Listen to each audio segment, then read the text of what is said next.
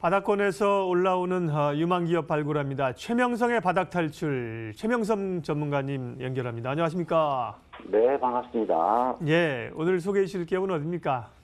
네, 어제 좀 카- 코로나가 저 전국에서 좀 많이 확산됐다고 했는데요.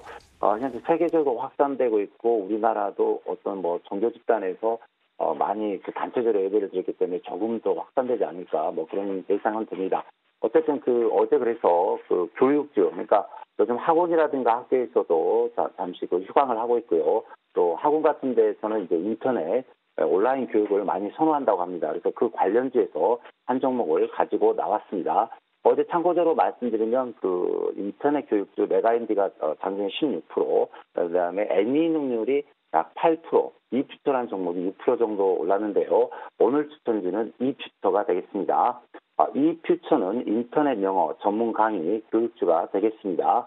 2000년대에 설립된 아, 인터넷 교육 어, 및 콘텐츠, 소프트웨어 개발을 목적으로 설립된 회사가 되겠습니다. 유치원생부터 초등학생, 중학생, 고등학생, 대학생, 성인에 이르기까지 모든 연령의 영어 실력을 높이는 영어 콘텐츠의 사업에 초점을 맞추고 있는 회사가 되겠습니다. 어, 도, 어, 도매 형태로 개발된 콘텐츠 개발과 추가로 VR 또 인공지능 AI 등의 기술 전문한 융합 상품을 계속해서 개발하고 있습니다. 2019년 3분기 기준 매출과 영업이익, 당기 순이익이 놀랄 정도로 그 증가하고 있는 회사가 되겠습니다. 현재 이 회사는 3년 연속 매출이 양호입니다. 아, 영업이익도 양호입니다. 유보율이 640도로 안정적인 회사가 되겠습니다. 네, 이퓨처입니다. 예, 예, 교육 기업이군요. 주가 흐름, 음, 가격 전략 말씀해 주십시오. 예, 차트를 보면 설명드리겠습니다. 어, 작년부터 보면 작년 6월부터 지금 2월까지 거의 8개월 동안은 에, 보시면은 이제 많은 거래량이 들어오고 있습니다. 뭔지는 모르지만 이 종목이 약 4천 원짜리가 바로 약 7,500원, 8,000원, 바로 더블이 같고요. 어, 상승과 하락을 계속해서 반복하는 형태가 되고 있습니다. 이런 패턴이, 그러니까 어, 개인들이 해서는 안 되는 거고요. 쉽게 말해서 이제 뭐 큰 손, 외국이나 기관 또는 뭐 큰 손들이 할 때는 이렇게 갑자기 급등을 시켰다가 어, 하락, 상승을 계속해서 반복하는 경향이 있습니다.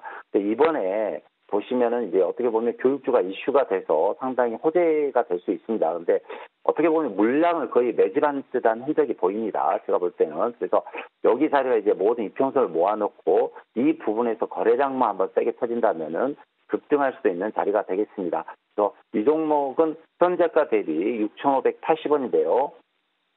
어, 매수가는 상관없습니다. 6,500, 뭐, 80원부터 6,600원, 700원까지 분할 매수하시고요. 1차 목표가 7,000원, 2차는 제가 8,000, 약 500원까지 드리겠습니다.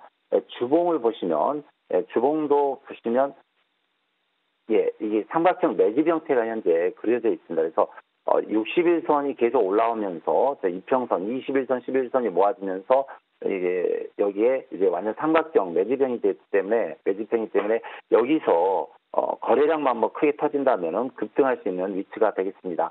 그래서 이 종목도 어, 현재 이제 메가MD와 애니 능률 또 이퓨처가 같이 동시에 움직이고 있는데요.